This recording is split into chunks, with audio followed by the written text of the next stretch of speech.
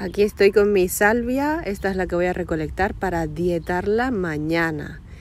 La voy a intentar secar en la deshidratadora que tengo, aunque no es necesario, se puede tomar también así. Y si tú no tienes la planta en sí, pues en el supermercado me he encontrado con esta marca que tiene salvia officinalis en hoja. Podría ser una, una opción. Y este es el aceite esencial que voy a estar usando. Es marca El Granero, también es certificado ecológico y se puede comer, porque no me gusta emplear en la piel cosas que no se puedan ingerir. Y en su día me costó 5 euros con 20.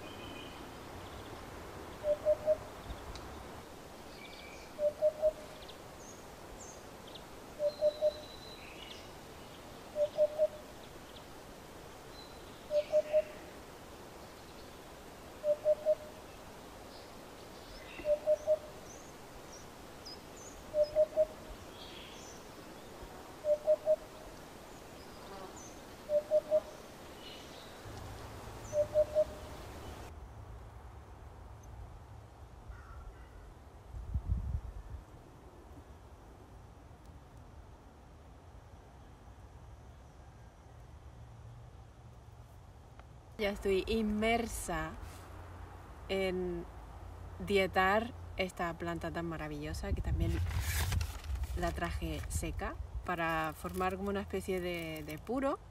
Y con este hilo voy a estar atándolo para poder prenderlo luego y, y nada, hacer como una especie de sahumerio para purificar la zona donde estoy y también dentro de la tienda. Ayer ya comentaba que el 7 de agosto empezó el verdadero otoño aquí en el hemisferio norte y la verdadera primavera en el sur. ¿Por qué es el verdadero cambio de estación si en teoría es el 22 de septiembre? Bueno, según las enseñanzas más antiguas y las tradiciones más viejas del planeta, entre las cuales también se encuentra la tradición china, dicen que los cambios de estación eh, en realidad son algo paulatino, es decir, cuando finaliza un ciclo de estación lo hace pues, de forma escalonada, al igual que ocurre cuando inicia otro nuevo ciclo. En este caso eh, es el otoño y vemos que empieza este inicio de cambio en la, el día 7 de agosto. Aquí vamos a empezar a ver los días que se vuelven más cortitos cada vez, aún tenemos un poquito de calor, pero las noches empiezan a refrescar, el aire es más fresco, nota un respiro. Hay tormentas de vez en cuando y bueno, en los árboles también empezamos a ver las primeras caídas de las hojitas, muy disimuladamente. Si observas la naturaleza, lo verás, verás estos cambios sutiles, verás ese cambio que inicia tímidamente y que cada vez pues va avanzando un poquito más y un poquito más y un poquito más, hasta que llega por fin el equinoccio y ahí ya sería el máximo apogeo de la estación, el clímax del otoño o de la primavera según la parte del planeta donde estés. Si estás al sur, seguro que ya habrás empezado a ver los primeros frutitos, los primeros brotes de la primavera. Bueno, y después de haber comentado un poco todo este proceso de cambio, voy a meditar un ratito. Voy a intentar hacer cuatro meditaciones en el día de aproximadamente unos 40 minutos o una hora hasta donde llegue realmente y voy a emplear para ello el aceite esencial que he traído y mi cuarzo maestro Herkimer. Es muy pequeñito, pero muy potente. Este es uno de los cuarzos que, maestros que estamos viendo en el curso de cristales maestros.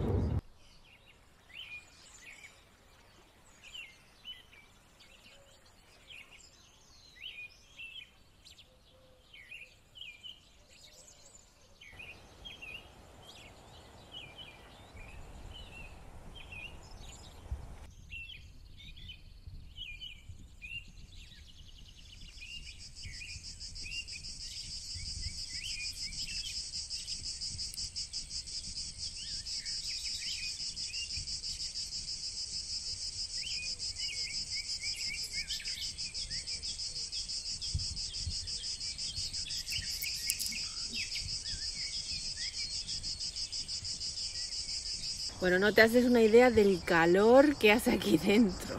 Es muy complicado, dentro y fuera. Durante la meditación me costó muchísimo concentrarme porque además es que también me venía todo el rato a la mente el tema del portal del Lions Gate, el portal del león que es hoy, que es cuando se dice que las tres estrellas del cinturón de Orión se alinean con las pirámides de Giza en Egipto.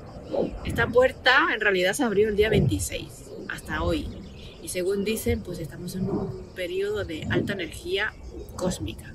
Es un portal de energía espiritual que se abre y alcanza su punto máximo pues justamente, hoy, 8 del 8. Este periodo pues tiende más a afectar a personas que ya están en un cambio espiritual. Y el portal de Lionsgate puede notarse también pues, como una intensa energía que además ayuda a dejar atrás el pasado y a apoyar nuevos proyectos, nuevos comienzos. Y encima coincide con la luna nueva, que es hoy, que también es un símbolo de inicio.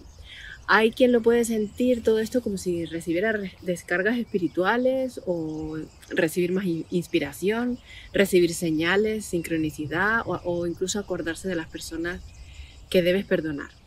Pueden darse sueños extraños o significativos y la verdad es que estar hoy aquí dietando la salvia, que justamente tiene que ver también con los sueños, pues no creo que sea casualidad.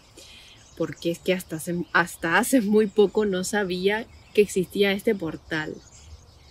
Con él se puede recibir orientación sobre el propósito de tu vida, experimentar cambios o transiciones en la vida y también puedes llegar a sentir que estás pasando por una transformación personal por un crecimiento espiritual como más acelerado. En principio todas estas cosas son las que se pueden llegar a experimentar en teoría con la apertura de este portal.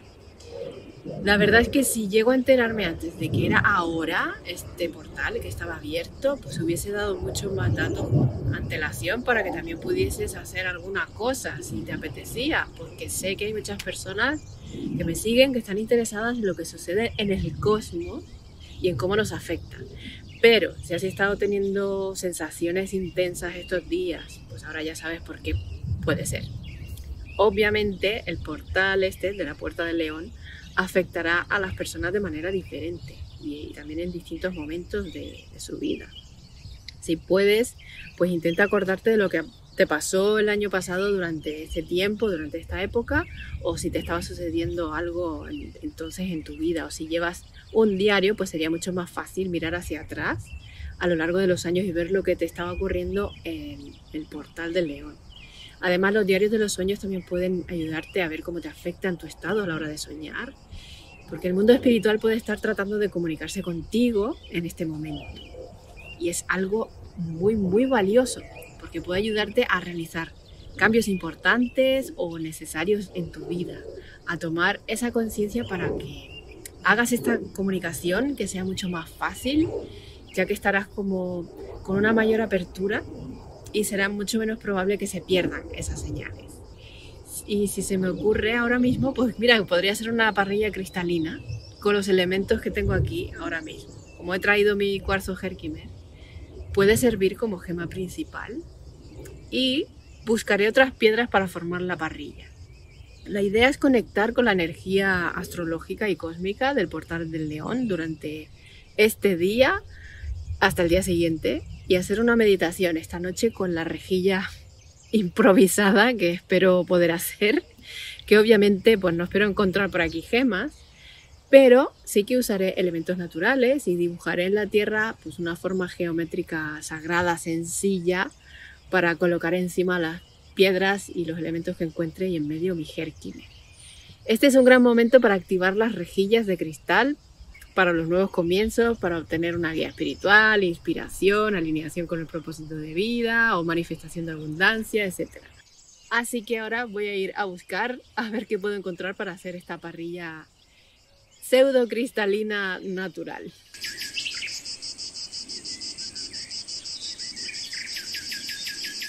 He encontrado un montón de cosas, están por aquí.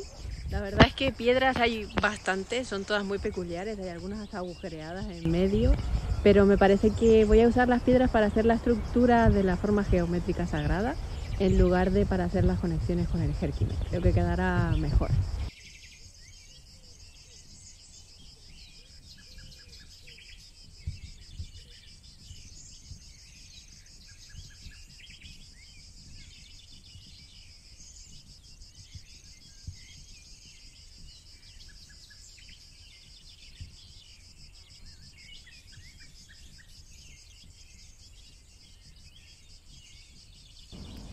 Este es la rejilla o parrilla cristalina y es con la que voy a estar meditando eh, a lo largo de todo lo que queda de día y por la noche también. La última meditación la haré delante de esta rejilla cristalina.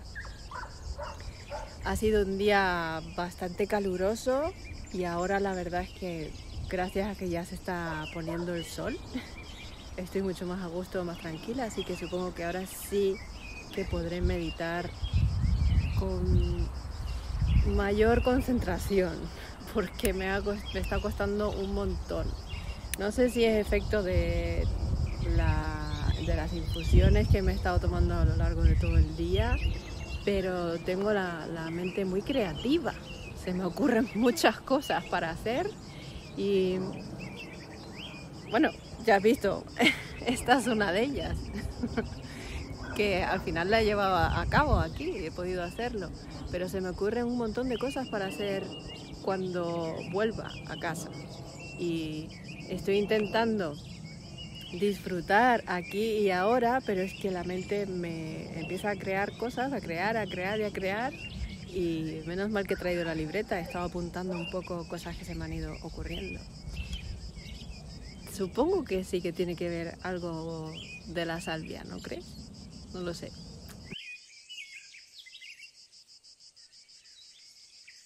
En nuestra cultura actual parece que solo somos capaces de ver los extremos y nos perdemos todo ese proceso precioso de modificación y cambio que da lugar a lo que entendemos como otoño o primavera o con cualquier otra estación. Es fantástico ver cómo cada vez hay más personas que entienden que el otoño no empieza cuando ya se va el calor o cuando lo dice el calendario y lo mismo sucede en nuestro día a día. Las cosas no suceden generalmente de repente. Hay un proceso, hay un fondo de escenario en eso, donde van sucediendo las cosas y que pueden ser a lo mejor poco evidentes para alguien que no les presta mucha atención, pero que son realmente importantes en la evolución de los ciclos. Así que hoy empieza un nuevo ciclo. Ya vienen los días oscuros, muy despacito, ya el aspecto más yin empieza a acercarse, pero no quiero que suene como algo negativo, sino como algo que es necesario. Es parte del ciclo mayor. El otoño y la primavera son tal vez los cambios de estación más importantes del año. Tengo algunos vídeos donde hablo sobre ello de desde la perspectiva de la Ayurveda en el canal de la antigua medicina de la India. Así que como empieza ya el otoño, pues es momento de, prepararse para la introspección, para mejorar nuestro autoconocimiento y para empezar a decrecer, a soltar todo lo que no necesitamos y a quedarnos con las cosas esenciales. Por ejemplo, también tirar o vender, donar lo que uno ya no usa o cerrar los círculos con personas que ya no nos hacen tanto bien o que sencillamente ya no están en la misma vibra, en la misma onda que nosotros. Son pasos necesarios para dejar espacio a lo más nuevo que tiene que llegar después de todos unos meses de trabajar en nuestro interior. Tal vez este otoño-invierno pues sea diferente a lo que solemos estar acostumbrados. El año pasado ya empezamos un nuevo comienzo con el año de la rata de metal y este año no será muy distinto en ese sentido, lamentablemente. O afortunadamente, según como lo quieras ver. Estamos en el buey de metal y ciertas cosas van a seguir igual. Así que hay que armarse de paciencia, de valor y ser perseverantes con lo nuestro. En realidad estaría muy bien hacer un ayuno cuando estás eh, dietando alguna planta pero bueno, yo en mi caso no puedo ayunar 24 horas, ni de broma. Soy bata y a los bata no nos va muy bien. Así que me he traído, eh, como todavía hace calor, me he traído únicamente verduras, vegetales y pan, pan sin gluten. Así que esta va a ser mi comida de hoy. No quiero llenarme el estómago, quiero que sea una comida bastante ligera que me permita estar meditando, que me permita estar más bien en ese estado activo para ir experimentando con, con la salvia.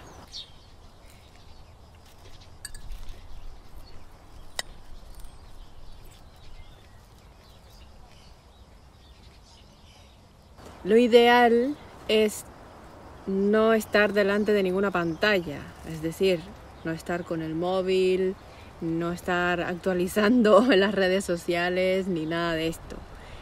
Pero como el fin, aparte de, dietar la planta en sí, es mostrar cómo podrías hacerlo tú también, pues obviamente necesito contártelo, necesito mostrártelo y explicártelo.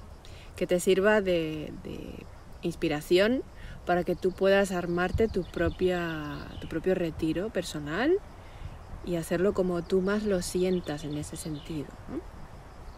Si tú eres capaz de estar haciendo ayuno, mucho mejor. Yo en mi caso no he desayunado fuerte, sino he hecho hoy todo, todo comidas muy ligeras que los pueda digerir bastante bien. Y he cogido los vegetales que mejor, mejor digiero y los he traído. Aparte, pues estoy con con la salvia, ¿no? todavía me queda como tres, tres o cuatro tazas más aquí que las iré tomando a lo largo del día. Esta sería la idea de nutrición en el día de hoy. La nutrición real hoy no va a entrar eh, solamente por el cuerpo, sino que va a entrar a través de otros sentidos también, más sutiles, por así decirlo va a ser una nutrición integral. No hay que olvidarse del cuerpo, pero tampoco hay que olvidarse de la mente ni de nuestro estado más espiritual.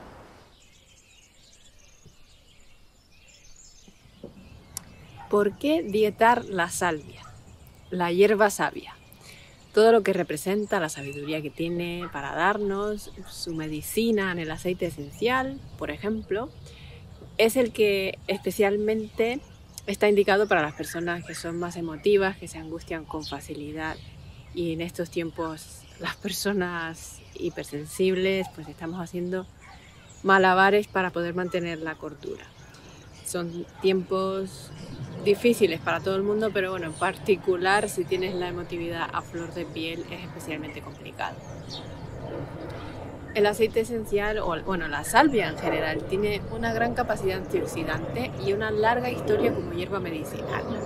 En naturopatía es una planta que se tiene muy en consideración y muchos aceites esenciales, entre ellos los de la salvia o los de la malva, verbena, ginseng, hiedra, ciprés, tienen propiedades que son hormonales y actúan positivamente sobre las glándulas suprarrenales, los ovarios, tiroides y demás. Por ejemplo, la infusión de salvia normaliza la glándula pituitaria.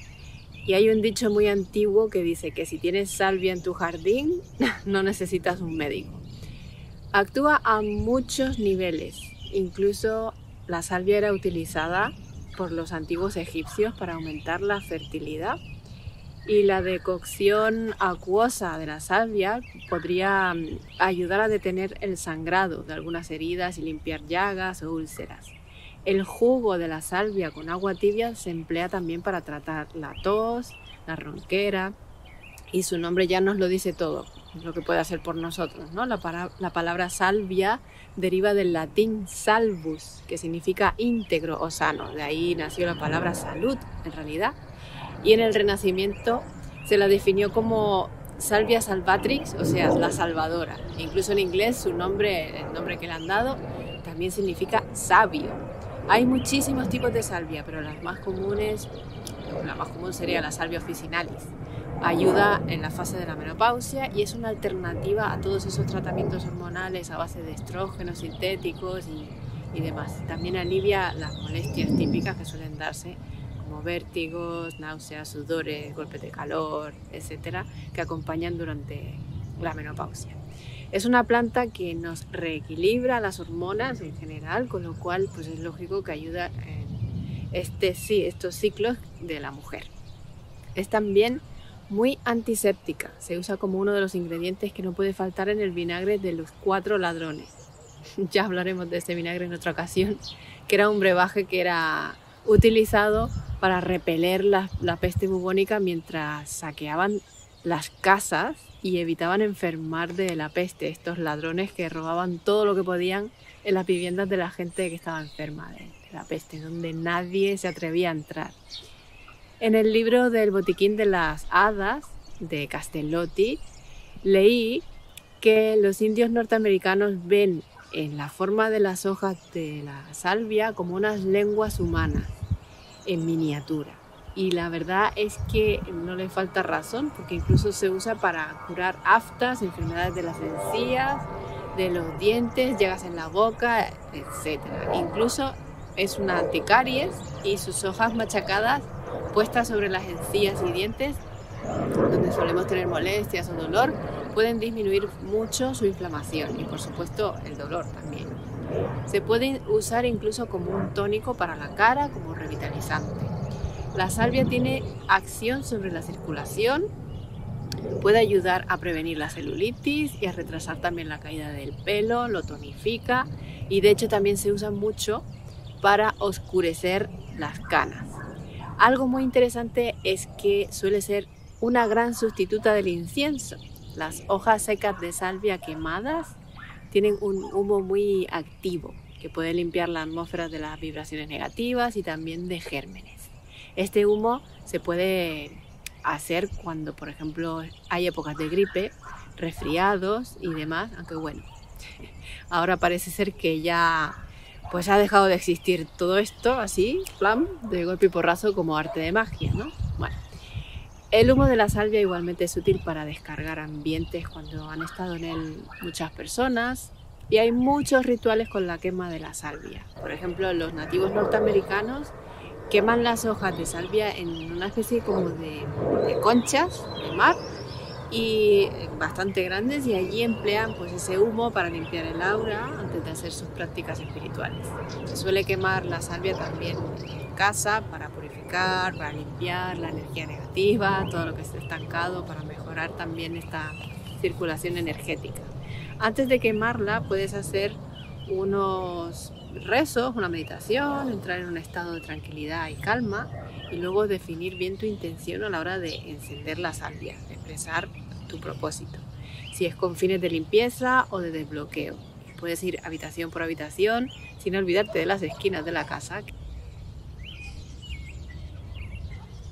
Me va a proteger de todos los mosquitos. ¡Qué bien! ¿Para qué nos puede servir su aceite esencial?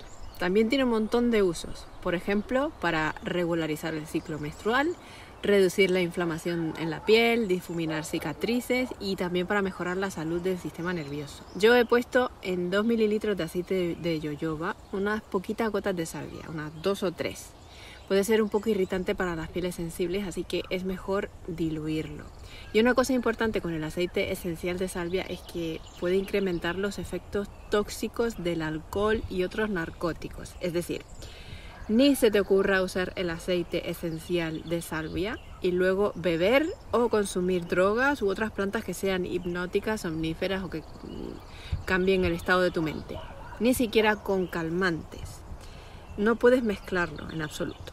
Y tampoco se recomienda el aceite esencial de salvia en mujeres que están embarazadas porque puede actuar o puede más bien causar contraindicaciones en el útero y provocar abortos. Y las mamás que están en periodo de lactancia pues también deberían evitar el aceite esencial de salvia porque puede reducir la producción de, leche. Psicoemocionalmente, dependiendo del tipo de salvia que sea, porque en realidad la salvia es el género más grande de la familia de las mentas, y hay más de 900 especies, pues su aceite esencial nos puede aportar unas cosas u otras diferentes. Pero generalizando, el aceite esencial de salvia puede usarse en personas que son emotivas, que se angustian con facilidad, estimula la creatividad, da calma y fuerza y promueve la inteligencia del corazón.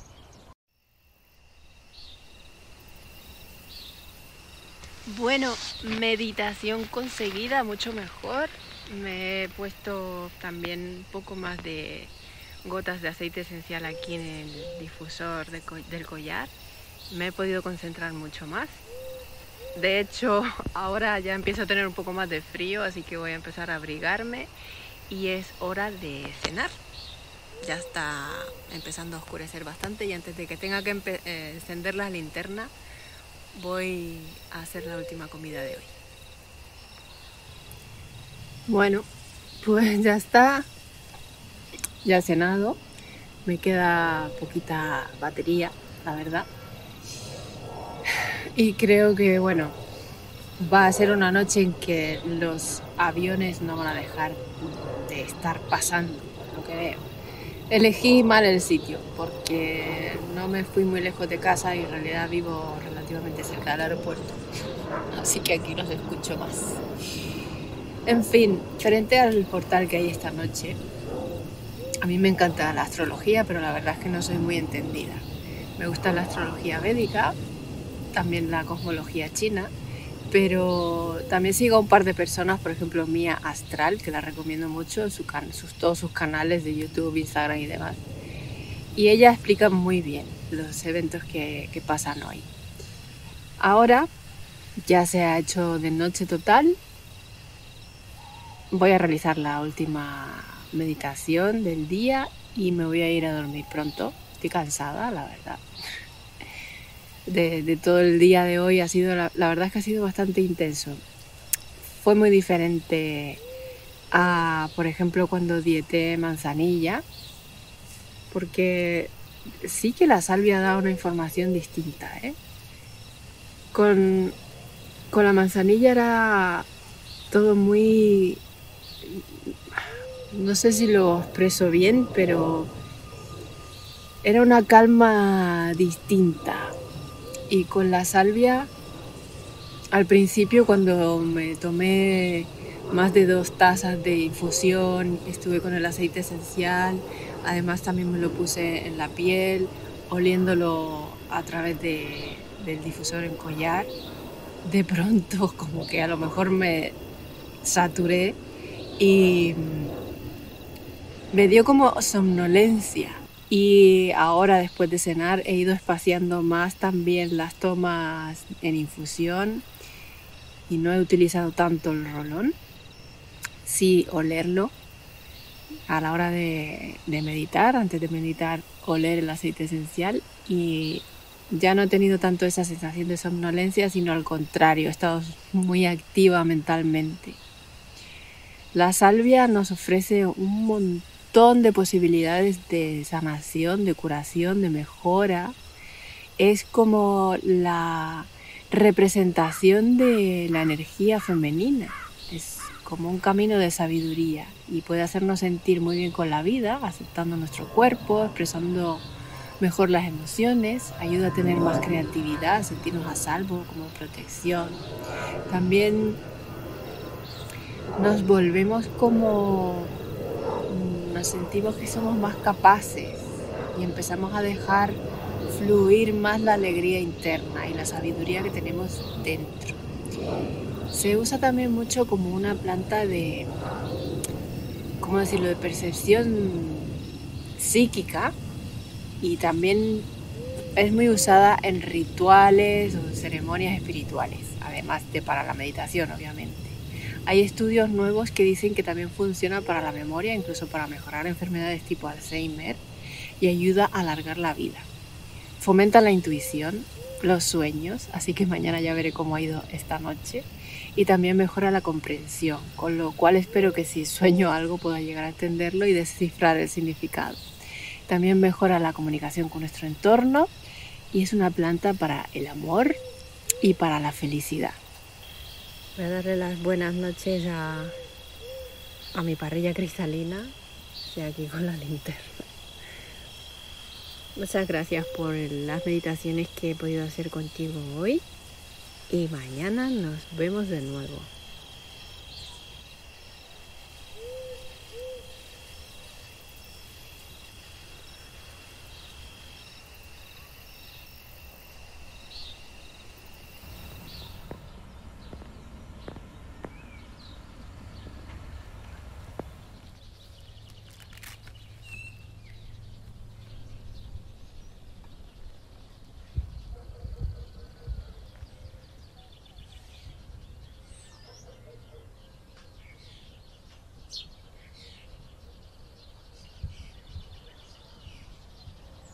Buenos días.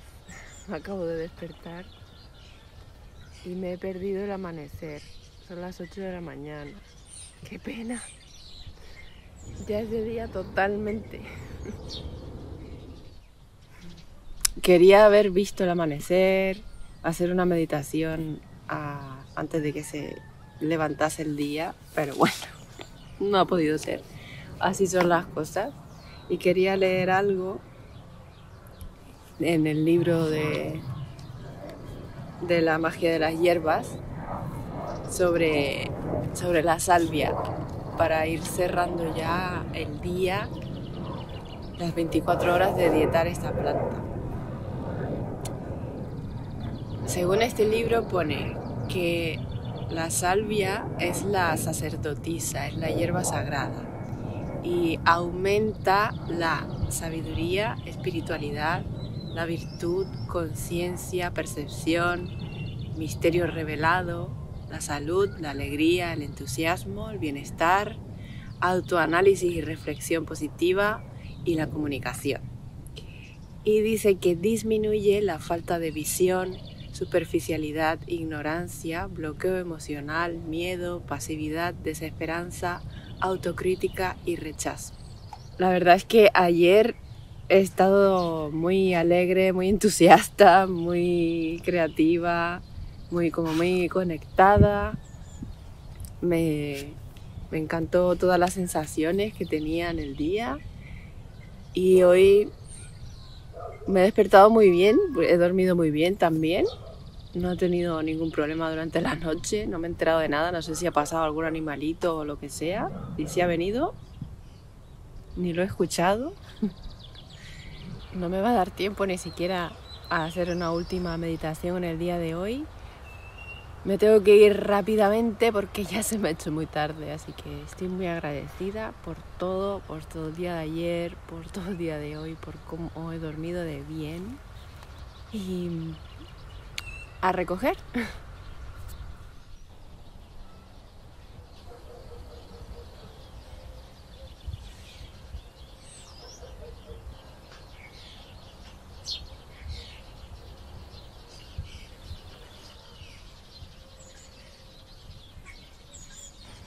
Y ahora, ducha, por favor, y cepillo de dientes.